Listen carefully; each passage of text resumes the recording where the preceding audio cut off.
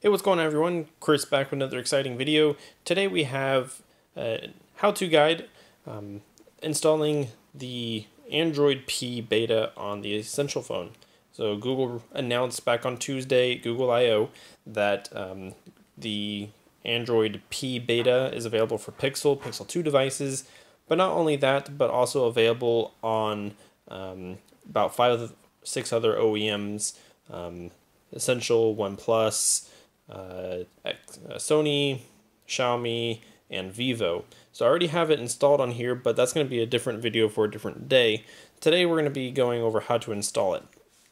Two different ways you can do that. Um, but first what you're going to need to do is make sure that you have um, proper ADB fastboot setup and then uh, proper Windows drivers installed for the Essential phone. I'll leave the link for all that down in the description. I usually use a minimal ADB fastboot and then just install the drivers for the Essential phone. So I'll leave the links for that. Uh, next, you need to then head over to the uh, developer page for Essential um, to be able to download uh, the proper files. So there are two different ways you can do this. One is via OTA, uh, via ADB sideload. Second is flashing the uh, system uh, images, factory images uh, for Android P. So what you'll need to do is go ahead and um, input your information here on the screen um, and then you'll go ahead and I acknowledge and submit. Uh, we'll be right back after we put that in. Alright, so we are now on to the next page. We see here that there is two different download uh, variations. Download via OTA or fastboot. Um, I'll show you how to do the uh, the OTA. Um, one benefit to that is you won't need to unlock your bootloader to install this. You can install it via the stock recovery uh, via ADB sideload. Um, I already have the file downloaded, as you can see here.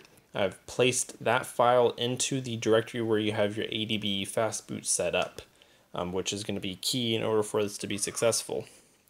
Um, another thing that this OTA uh, variation you won't lose any of your data that is on your device. Um, so that's also something that's nice. Um, so that's what we're going to go ahead and do now is boot into our um, stock recovery. So we can start a command prompt here, ADB devices. You want to make sure that ADB is set up and turned on ADB debugging on here. We can see it is being recognized. ADB reboot recovery and it will boot into stock recovery. My device already has the unlocked bootloader, um, but I can show you how to install via fastboot as well. Hold down power, volume up, and you'll get this menu. And then we're going to use the volume keys to go down to where it says apply update from ADB. You go ahead and press that, and it basically tells you the uh, the syntax of what command you want to type in, adb sideload and then the file name. So if we go over here to our file directory, we see my file name is ph-1p.zip. So you'll type in adb sideload ph-1p.zip and it's going to load the zip and we can see down here verifying update package. And it's going to go ahead and install. It's going to take a couple um, couple minutes. So we'll be right back once that is finished. Alright guys. So we are back. Um, right now it is currently 93% done. And it says step one of two it's been over about five minutes, so definitely be patient during this installation process. Make sure you are using a different cable than what was provided with the Essential phone, since there's been a lot of issues, um, people saying that they've been their phone's been bricked because of the cable that was provided was only for charging, not data transfer and stuff like that. So just be careful with that. Um, also, you want to make sure that your device is um, properly charged so you don't have any issues there as well. Um, now, if you wanted to revert back after installing the OTA for the Android P beta, um, you will have to then unlock your bootloader and flash a factory image to revert back to Oreo. Um, so bear keep that in mind. You may eventually have to unlock your bootloader anyways. Um, so we can see here it is currently was done. Step two of two, install complete. And we can see on your screen, control transfer two times. And if we just go down to uh, power button reboot system now, it will now reboot into Android P. The boot animation hasn't changed, at least as of now. It may change once the uh, P comes out, who knows. But that is how you install um, via OTA. Now I'm going to go ahead and show you how to install via uh, Fastboot with the factory images. Um, so if you are now just tuning in to skip to this um, to this timestamp, then welcome. We are installing the uh, Android P beta via Fastboot. So what we're going to go ahead and do is download your Fastboot image from the same site as mentioned in the OTA. And we're going to want to download that. And then we are given a zip file. I've just named it basically the same as before. So what you're going to need to do is extract the files from inside that zip um, which contain all of the, the images here, as you can see right here. So we need to uh, extract this to a, a folder of your choice. And in the meantime, in order to do install this, you do need to have your bootloader unlocked. I've shown a video on how to do that already. Check that video out. I'll leave the link down in the description. So now what we're going to go ahead and just do is boot into recovery. So go over to your ADB interface on the command prompt, ADB reboot bootloader, and it will be booted into fast boot mode. As we can see here, my device is already unlocked. And then what we're going to go ahead and do is go over to our desktop. We're going to then